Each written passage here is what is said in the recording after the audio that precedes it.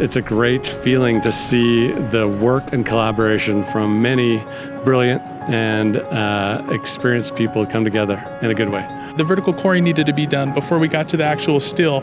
Uh, hundreds of acres needed to be cored in order for the stone temple to receive that still. And the spire is just the pinnacle moment of everything that lies unseen behind the stone.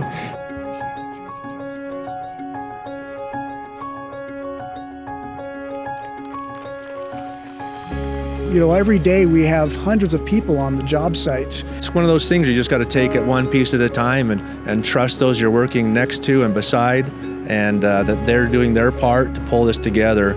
All in all, the team has just been fantastic. There is no denying that there is a special special feeling here. Um, you know, whether you're of the belief or not, there there is something special happening here.